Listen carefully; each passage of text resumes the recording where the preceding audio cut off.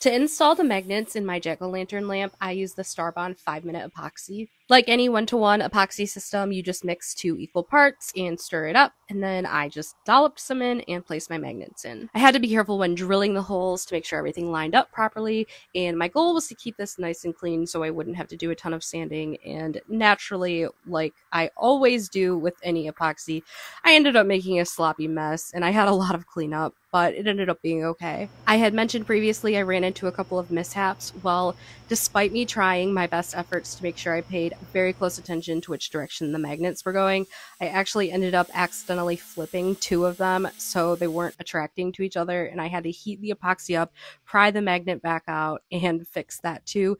Then I ended up adding more magnets to make it a little bit stronger, so this was a learning experience, but he came out great.